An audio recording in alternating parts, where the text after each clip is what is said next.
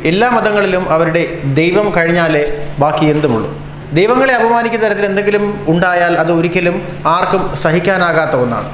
ഇപ്പോഴത്തെ കാലിഫോർണിയയിൽ നിന്നൊരു സംഭവം റിപ്പോർട്ട് ചെയ്യുകയാണ്.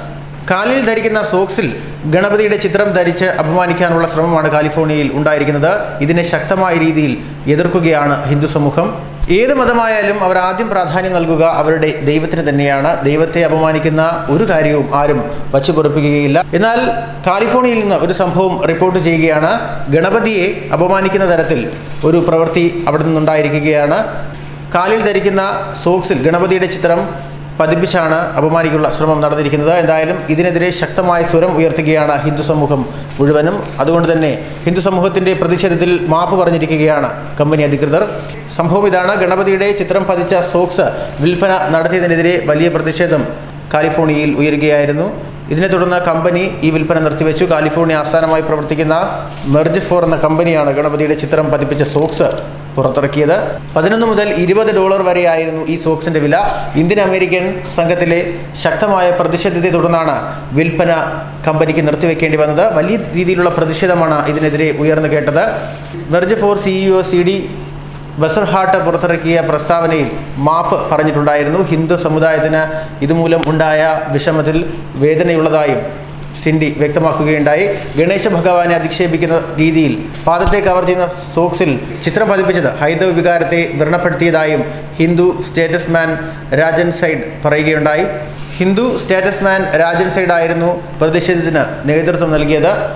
മേജർ ഫോർ മേജർ ഫോർ ഉൾപ്പെടെയുള്ള സ്ഥാപനത്തിലെ ഉയർന്ന ഉദ്യോഗസ്ഥരെ മതപരമായ പരിശീലനത്തിന് അയക്കണമെന്നും സെഡ് അഭിപ്രായപ്പെട്ടു. ഹിന്ദുക്കൾ ആരാധിക്കുന്ന ഗണേശ ഭഗവാനെ അധിക്ഷേപിക്കുന്ന തരത്തിൽ പാദത്തെ കവർ ചെയ്യുന്ന സോക്സിൽ ചിത്രീകരിച്ചത് ഹൈദർ വികാരത്തെ വ്രണപ്പെടുത്തിയ ഒന്നായിരുന്നുവെന്നും സേഡ് വ്യക്തമാക്കി.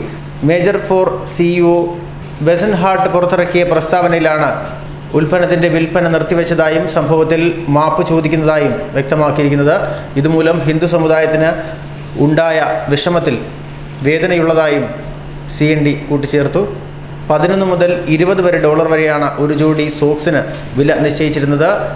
എന്നാൽ സംഭവം വിവാദമായതോടെ ശക്തമായ പ്രതിഷേധമാണ് അമേരിക്കയിൽ ഉയർന്നു കേട്ടത്.